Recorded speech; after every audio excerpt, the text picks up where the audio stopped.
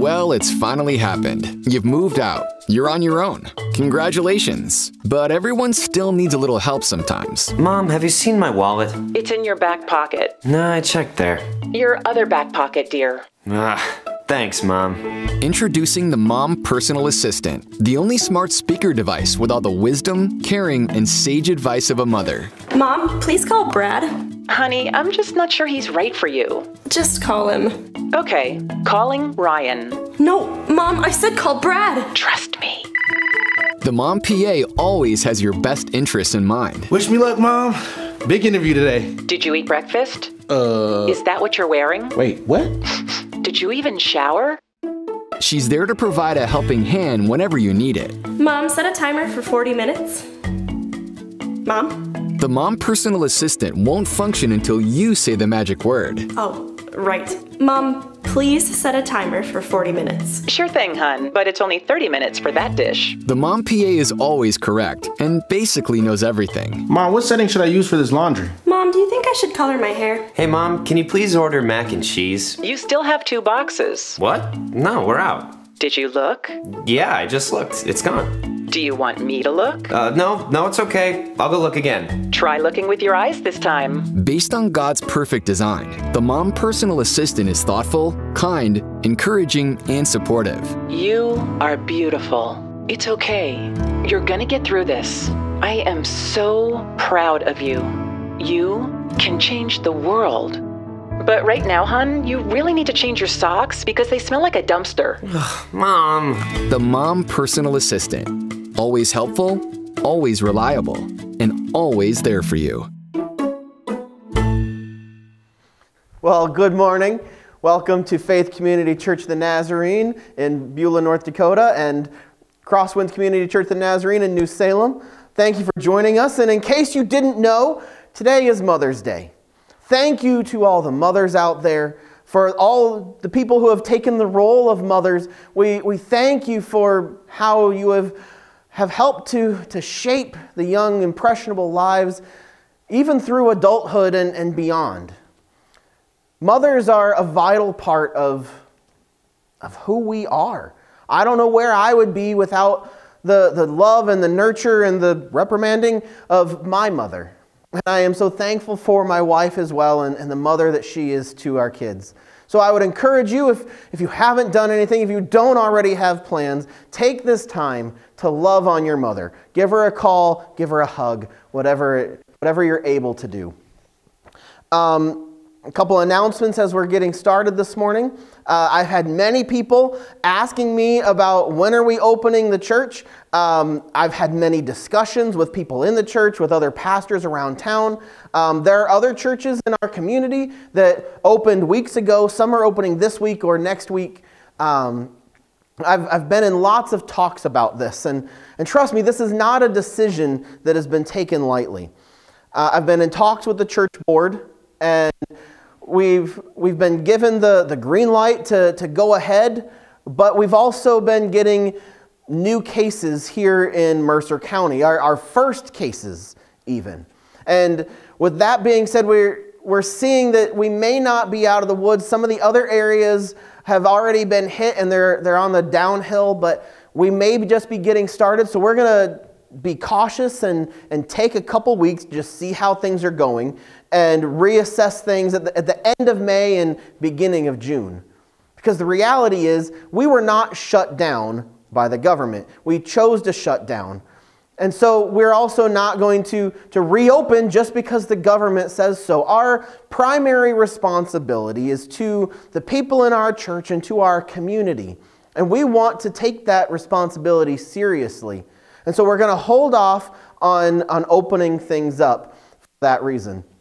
I also want to point out, I posted on Facebook, but in case you're not on Facebook, um, it has come down from the district leadership that uh, unfortunately our children's uh, kids camp uh, for this summer has been canceled. There's still waiting on word about teen camp, but as far as, as children's camp, we're, we're spanning North and South Dakota as well as Minnesota, and things are just so all over the place um, that they couldn't really they couldn't really do it or, or make it work, unfortunately.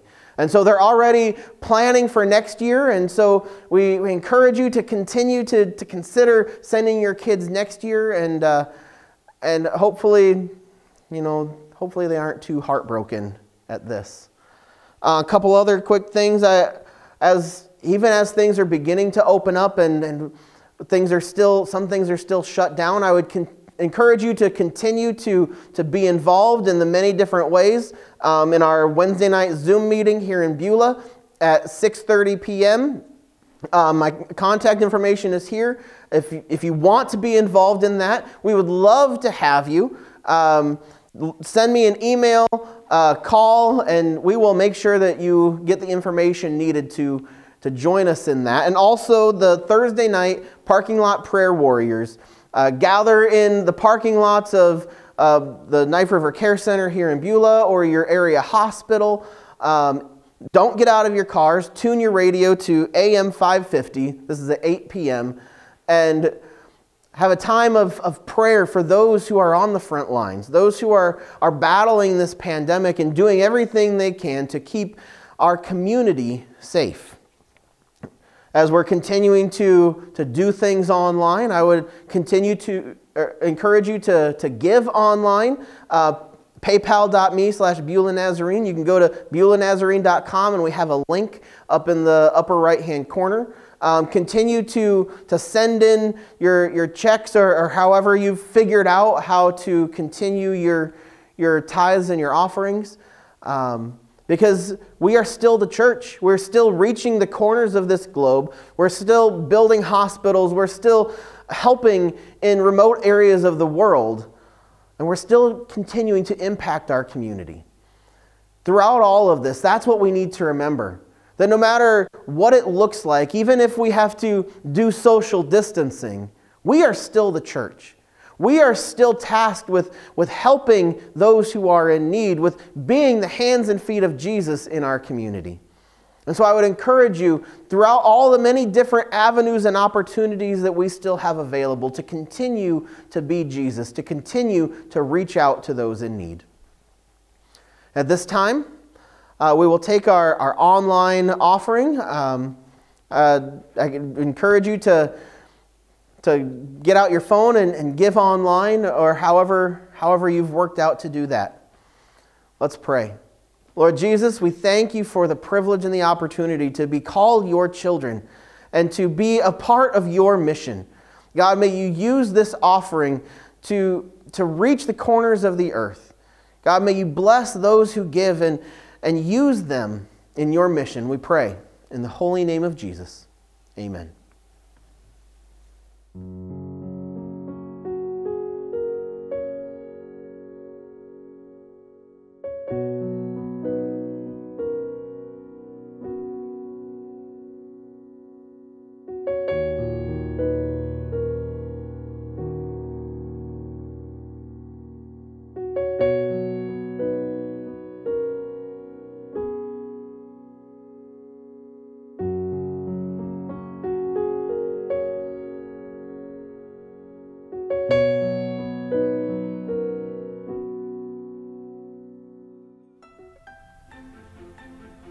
This morning, we have the privilege of worshiping with Harvest Community Church of the Nazarene in Mitchell, South Dakota.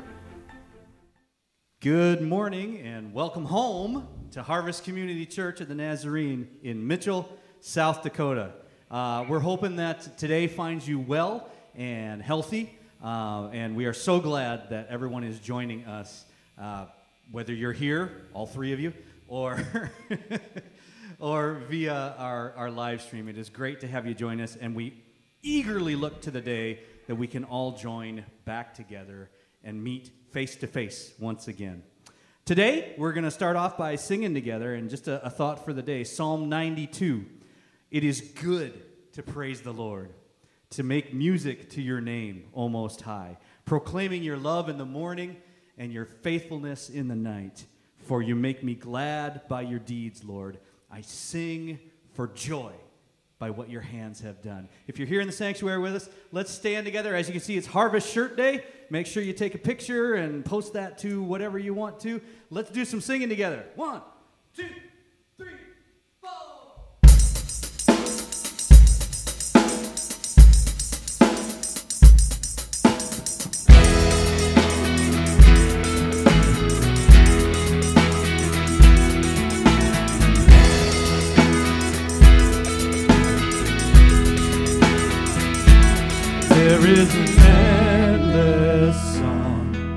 echoes in my soul. I hear the music ring. And though the storms may come, I am holding on and to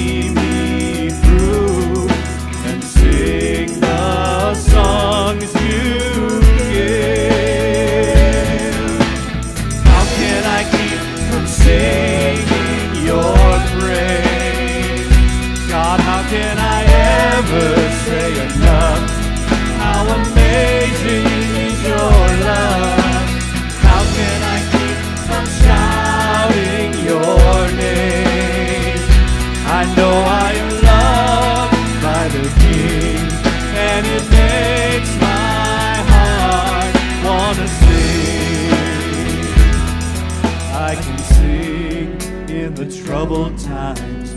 Sing when I win. I can sing when I lose my step and fall down again.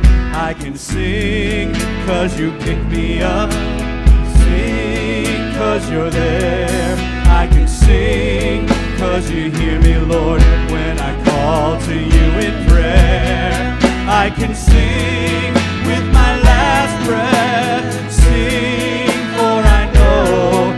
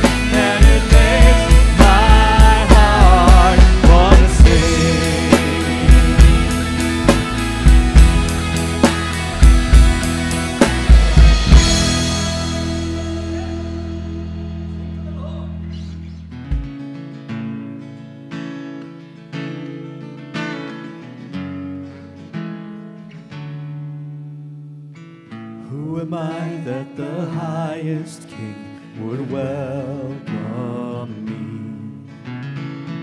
I was lost, but he brought me in. Oh, his love for me. Oh, his love for me.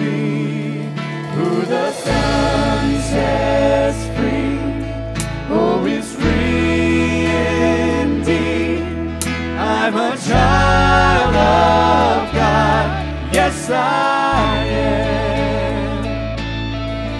In my Father's house, there's a place for me. I'm a child of God. Yes, I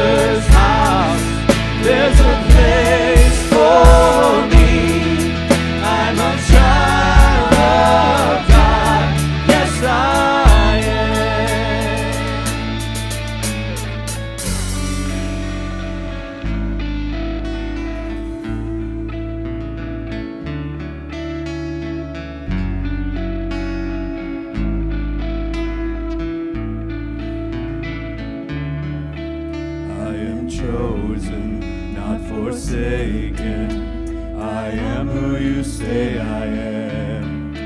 You are for me, not against me. I am who you say I am. Oh, yes, I am chosen, not forsaken.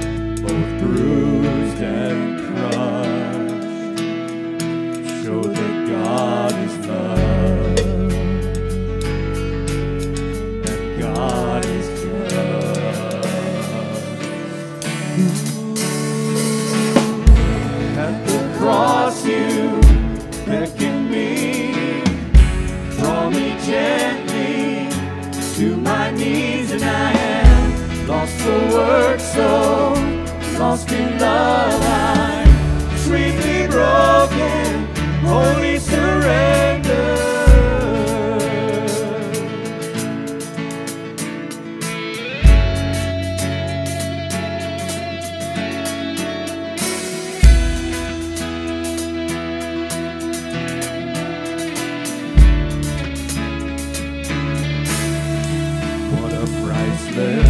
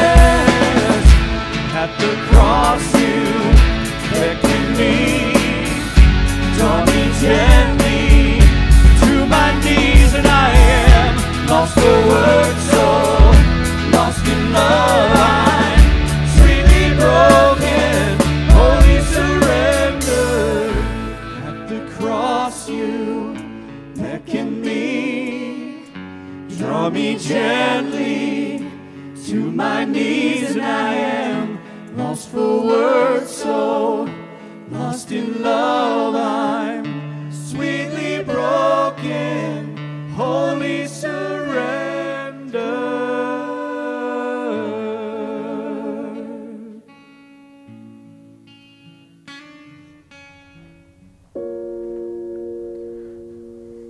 Jesus Christ, our Lord and Savior.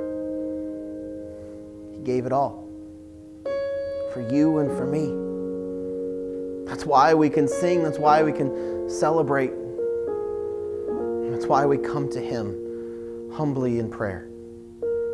During this time of family prayer, I would encourage you to, to humble yourself before God. Stand, kneel, just bring yourself for the one who gave it all. Let's pray. Lord Jesus, we thank you for your sacrifice. We thank you for your love that your love that took you to the cross. Your love that that held you there until it was finished. Not because you needed to, but God, because you loved us and you wanted us. You knew that we couldn't do it on our own. So you took on human flesh and, and you paid the price that we couldn't pay. God, I, I pray that that would not be lost on us. As we hear it Sunday after Sunday, as, as it becomes just routine, God, I pray that it wouldn't. That it wouldn't become routine, that it would have the same impact today as it did the first time that we heard it. God, your love is so amazing. Your, hu- your love is it's humbling. That even when we wanted nothing to do with you, God, you, you reached down to us. And God, you're still doing that. When we try to do things on our own, when we try to figure things out and, and exclude you from our lives, God, you are still there. You are still loving and you're still caring God, we come to you. Because, God, we need you. God, we, we need your power and your love in our lives. God, continue to help us through this pandemic. As there are still some who are who are staying at home, those who are, are keeping their distance for fear that things are going to spread. And there are those who are chomping at the bit to, to get out and to, to get back to work and to do normal life. God, I pray that you would meet us where we are. That you would give us your, your boldness and your courage, but that you'd also give us your safety and your protection. God, I pray that as we're living in this new normal, that would not forget who we are in you. God, that we wouldn't forget that we are still your church, that we still have a mission to reach out to people, to show people your love and your mercy, that it wasn't just for us in the church, but it was for everybody, for all who would, who would receive the sacrificial blood of Jesus, the cleansing blood that can make us clean, can make us new. God, may we not just hold up within our homes, but may we be reaching out to the community in which you've placed us to be your light, to bind, build, and bring, to, to draw people to you because of your love. Because your love compels us to love others. Be with us. Be with us today, God. As we're in our living rooms or wherever we may be gathered, God, may your spirit fall upon that room. May your presence be felt. May we know that we've had an encounter with you. God, may we be hearers and doers. Open our hearts that we may receive what you have for us. We may put it into practice, that we may live this life for you and, and with you. Be with us today, God. Our Lord and Savior. We pray this in the matchless name of Jesus. Amen.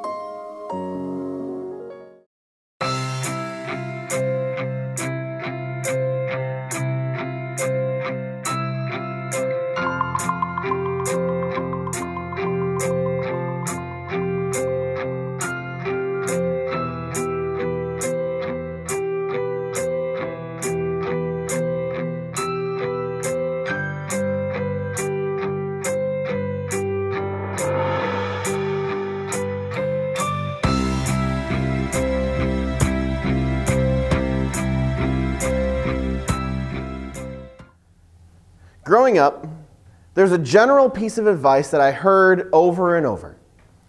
In your regular conversations, there were three things that you just didn't talk about money, politics, and religion. Money, I could only assume, was because it's, it's going to make people feel uncomfortable. If you have money, well, then you don't really want to brag about it. You don't want to push that upon other people, and so you, you kind of stay away from the topic so as to not put yourself out there. If you don't have money, well, then any conversation about money is only, only going to remind you that you don't have money. It's only going to remind you of the pile of bills and how you have struggled in this area of life. Politics, well, politics. We all know why we don't talk about politics. Especially in our, in our country today, politics is so polarizing. Where we have one group that's angry and yelling, Orange Man bad, and, and the other group that's yelling, The communists are coming. It's hard to, to find a, a middle ground to, to come together. And if you're not careful in these conversations, the conversation is going to be over even before it starts. These are conversations that need to happen. We need to talk about these things. In fact, I think the, the polarization in our country today is because we haven't talked about them. But what we need to be able to do is come to the table with those of, of differing views, seeking to understand where they're coming from rather than immediately vilifying them. And when we do that, we may not come to an agreement. We may not change perspectives or, or change our mind on issues, but we will understand the person. We'll understand their heart and where they're coming from and why they hold the views that they do. But then there's religion. Religion, I think it's, it's a tough topic because most people have already made up their minds or they already think that they've made up their minds. They've selected a, a, religion or lack thereof that makes them feel good, and they don't want someone to tell them that they're wrong. They don't want people to begin poking holes in what they believe. Because these beliefs that we hold, they, they influence so many different areas of our lives that if, if we change the way that we think or we change what we believe, the, the shifts in our life, it, it's scary. We don't want to deal with that if we don't have to. But this, this goes to highlight our, our misunderstanding of what religion is. The Bible is arguably the most influential religious book of all time. But you may be surprised to hear that throughout the entirety of the Bible, there are only five verses that talk about religion or, that, that use this word religion. And they all come from three different Greek words, and sometimes they're not even translated as religion, but instead as worship. If we expound that to include the word religious, we get a few more, but, but only a handful of verses. And in these, it's exclusively talking about the, the religious feasts or festivals or the activities that are performed, and not the beliefs that are held. And this is the misunderstanding of religion. We get this idea that religion is a system of beliefs, but religion is not beliefs. Religion is doing, it is putting into action those beliefs. It's not so much the believing as much as it is what you do with those beliefs. It's the outward practice of those beliefs, it's the acts of service toward God. And this is what James is talking about in James chapter 1, verse 26. We've been looking through the book of James, and, and throughout the first chapter, James has been telling us, we talked about last week, that we, not need, that we need to more than just hear what God is saying. We need to do more than, than hear the word, but we need to put it into practice. We need to do what it says. And so we come to James 1:26, where he says, If anyone thinks he is religious without controlling his tongue, his religion is useless, and he deceives himself. Now, given our understanding of religion, given what we've been talking about, how James has been talking about hearing and doing, this verse looks different today than it may have a month ago. I was reading a blog post this past week by a speaker named Jason Johnson. And in the blog post, he sought to, to dissect, to, to better understand a scripture verse by expounding upon it, by, by paraphrasing it or, or rephrasing it with what we know about what it's saying. And I think our scripture today is a good candidate for that. So as we begin to look at James 1:26, he says if anyone thinks he is religious. Now we've already talked about what religion is. Religion isn't the beliefs, religion is the action, it, it's the doing. And so we can rework that, we can rephrase that by saying if anyone thinks he's living out his faith without controlling his tongue. Now, this idea of controlling the tongue, it's one that James is going to come back to. It's, it's more of an example here.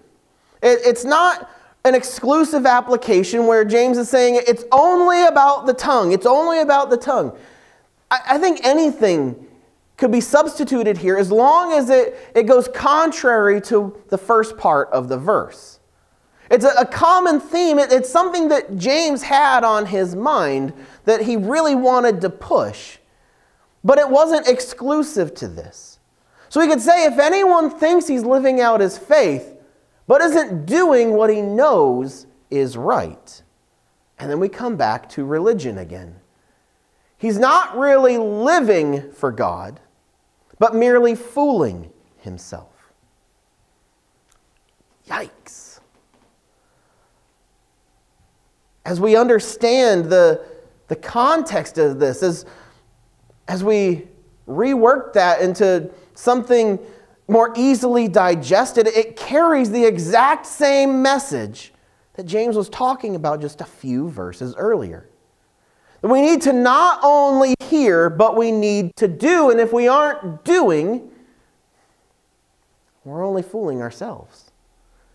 If we're doing the church stuff, but we're not living out our faith, if we're looking in the mirror, but not doing anything about what we see, we're only fooling ourselves. This idea of, of doing, of putting our religion into practice, it's, it's a common theme throughout James's letter. But let's move on to verse 27. In, in verse 26, James basically told us this is what fake religion looks like. But in verse 27, he goes on to say, This is what it should look like. He says, Pure and undefiled religion before God the Father is this to look after orphans and widows in their distress, and to keep oneself unstained by the world. Now, this is a popular verse in foster care and, and adoptive community circles. It's one that, that is brought up quite frequently. Just like any strong conviction where you feel this is who we need to be, this is what we should be doing, one of the first things you do is to get someone to back you up, to get somebody with authority to agree with you. And in order to do that in Scripture, you, you begin Googling Bible verses that talk about orphans. Or if you're really old school, you break out that big dusty book called the Concordance and you, you look through there to find all the places where the word orphan is used in the Bible. And whichever route you take, you're going to land on this verse. I've preached on this verse. I've, I've talked about it, and, and I, I preached what it says right there on the surface. If you love God, take care of the orphans and the widows. But as we dig into it, there's more to this verse than just what's on the surface. Because that's not exactly what it says. What it says is pure and undefiled religion before God the Father is this. This isn't a command. It's not saying, if you love me, you have to do this. It's a description. It's saying, this is what it's going to look like. This is what you're striving for. So let's take a moment and just like with verse 26, let's, let's paraphrase. Let's rewrite this verse so we can get a better understanding of, of what's actually being said. And we start with the word pure. It comes from the Greek word katharos. And it's this idea of being physically or ceremoniously clean. It's actually the word that we get our, our modern word cathartic. If you're in the medical field, this is probably a familiar word. We, we use this word to describe medical practices or, or procedures or, or medicines, even, that are designed to, to purge or, or to cleanse impurities from the human body. A laxative would be cathartic. If you have a liver problem and you need dialysis, that is cathartic. It cleanses the impurities. And then we get back to religion. Here he gives it the qualifier religion before God the Father. Now that adds to it, but I think it's more to, to narrow things down. It, it doesn't really hold a whole lot of additional significance other than to say, I'm not talking about the Norse gods, I'm not talking about the Greek gods. The gods, the, the religion that I'm talking about is the same religion that Jesus talked about in Matthew chapter 28, where he said, Go and make disciples in the name of the Father and the Son and the Holy Spirit. The religion that we're talking about is the gospel message of Jesus Christ. And so, as, as we take just this first part and, and paraphrase it, remembering this is not a command, James is describing what this looks like. We come up with something that says the cleanest and purest demonstration of the gospel message is to look after. And some translations may say to care for. It's important that we understand what's, what's being said here. Because we look after a whole lot of things. Something that you should probably know about me is I, I don't like to sit by idle. I always want to be doing something. That something could be as simple as watching TV or playing a game on my phone, or it could be doing laundry or, or sweeping the floor, doing some project around the house. I want to keep busy. I want to do something as my kids have grown up, it's, it's become easier, that I can do other things. But I still have a two year old. And recently, as the weather has gotten nicer, he has discovered the joy of being outside. Now we have a fenced in backyard, so we're able to, to let him enjoy the great outdoors within the safety of our backyard. But we also have a dog. And so the backyard is not always the safest or cleanest place for him to play. And so my wife has set up a, a toddler slide in the front yard, and he absolutely loves it, and he wants to, to go out there and play. And there are times when I go out there too because somebody has to watch him. Somebody has to make sure that he's not going to go running down the street after some random stray animal or, or get hurt or, or something like that. And so I go out there to, to keep an eye on him, to, to look out for him, to watch over him. But I don't want to sit idle. I also don't want to be one of those parents that ignores their children and is sucked into their phone. And so I try to find something to do while I'm out there. I, I'll work on fixing bicycles or I'll do yard work, trim the bushes, pull weeds, whatever. I want to do something. And many times I can do something while watching him. I can work on a bicycle or trim the bushes, and you know, I'll, I'll occasionally turn around and glance and I, I see where he is and what he's doing and making sure he's not getting into trouble. You know, I can watch him from a distance while doing something else. I can watch him but not be engaged in what he's doing. But as we come back to what James is talking about here, the original word that he is using here, it's not talking about that, that watching without engaging.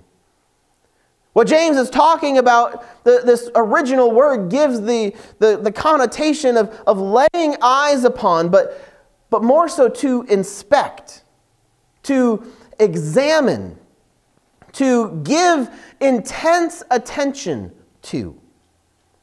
You have those different groups of friends in your lives. Those groups of friends that, well, you are Facebook friends. You, you care about what's going on in their lives. You may go months, maybe even years without talking to them, but you'll check in and, and catch up every once in a while. You'll, you'll see what's going on online.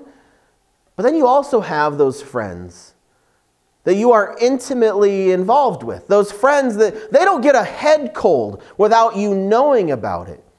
That you are engaged in their lives. And this is what James is talking about.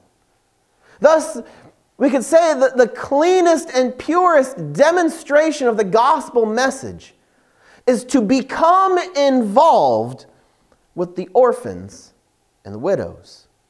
Again, this is a, a favorite in the foster care and adoptive communities. We really like this verse. But this verse is it's not a command. It's more descriptive. James is trying to, to paint a picture of, of what this religion, what this demonstration of the gospel message looks like. Thus, the orphans and the widows, they're, they're representative of the marginalized groups. And in James's culture and society, the, these were the people that had no legacy. They were the people that made no contribution to society. And as such, they were often pushed to the side. They were often neglected and forgotten. They are used as a representation. It's not prescriptive, a, command that says, no, it's only these. In fact, if we were to ask James, if we were to be able to sit down and talk to him about this and say, James, but what about, what about the victims of human trafficking? James, what about the homeless people? What about those who are, are in our city struggling with addiction? What about parents who are in crisis or, or even my next door neighbor who is struggling with this, that, or whatever? James isn't going to say, no. I said widows and orphans. Just the widows and orphans. What don't you get? What was unclear about what I said? I was going to say, Yes. Yes, that's what I'm talking about. Those people too. That's where we need to go. Those are our people. The people who are broken and in hard places. And then we come to the last portion of this verse. And this portion is many times left off. Sometimes because it doesn't, it, it's used to, to emphasize the former. Other times, I think we just don't know what to do with it. We don't know how it fits into the big picture of, of everything that's being said. James says to keep unstained by the world. And some will look at that and they'll say, well, that means that we need to separate ourselves. We need to seclude ourselves from the rest of society. But I think we misunderstand what he's saying. In order to really understand, we need to understand one word in particular, and that is the word world. World is a tricky word to understand and interpret in Scripture because it has so many different meanings. And in order to understand it, we have to look at the context in which it's being used. Because there are sometimes when we use the word world and we're talking about the planet Earth, the, the world on which we stand. When God created the world. Well, there are other times where world refers to the people. It refers to the human race. For God so loved the world. It's not that God really loved this planet. God really loves the, the minerals and the, and the oil under the surface of the earth. No, God loved the people. But then we also have the moral world.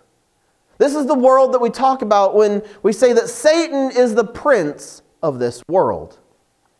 And in this world, we're not talking about all people. What we're talking about is anything and everything that is indifferent or hostile toward God.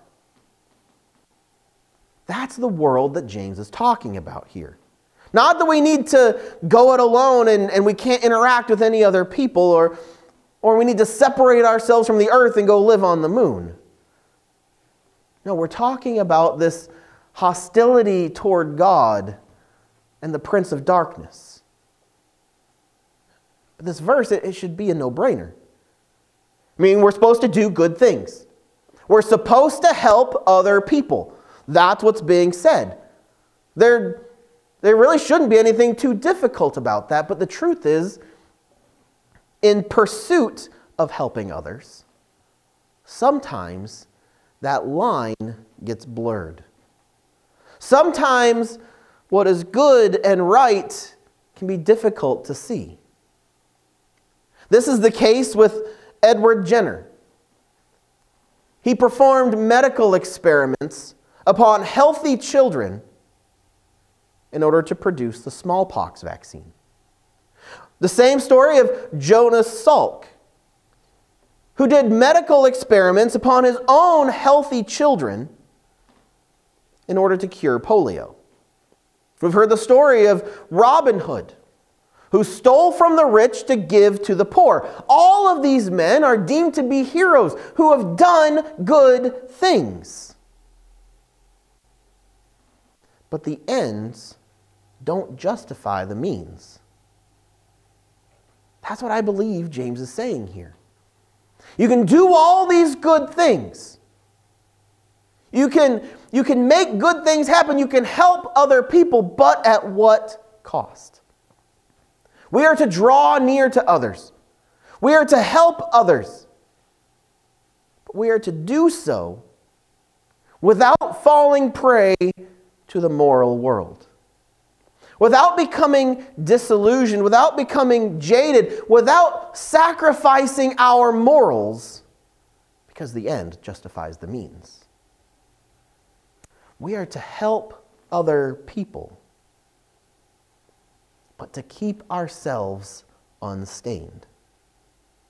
Thus, our final paraphrase looks something like this If anyone thinks he's living out his faith, but isn't doing what he knows is right, he's not really living for God, but merely fooling himself.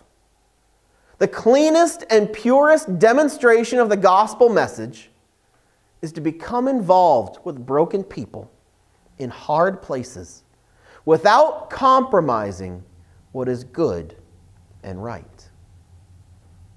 This is true religion before God the Father. The outward reflection of God's love working in and through us. It's not just that we'll do good things. It's not just that we will help those who are in need, but that we will do so without compromising the righteousness of God. That we will love our neighbors selflessly. That we will sacrifice ourselves for their good in the process. All while maintaining the purity and the cleanliness that has been imparted to us by the blood of Jesus Christ. That's what James is saying here. That's what he's been getting at. That is pure religion, the demonstration of the gospel message. That is practical Christianity. Heavenly Father, I pray that we would get it. We come to church and we, we do all the, the religious stuff. But God, we're not doing it for you. God, help us to help us to really get religion. This living out of our faith, this hearing and doing. That we would care for the widows, the orphans, the, the drug addicts, the, the people who have fallen on hard times, the, our neighbor who is struggling. God, help us to understand what it means to be your ambassadors here on earth. God, keep us from being unstained. As we continue to, to peer into the reflection of your word, help us to see who we are. That we can do all these good things, that we can help all these people, that we can live out this faith without becoming stained and, and tainted, without sacrificing what is good and what is right. Go with us this week, God, and show us Show us what we need to do. Show us who we need to be. Show us how to live out our faith. That we may have this pure and undefiled religion. That we may have this deep, connected relationship with you. Go before us, God. We pray. In the matchless and holy and, and perfect name of Jesus Christ our Lord. Amen. God bless you guys, and we'll see you next week.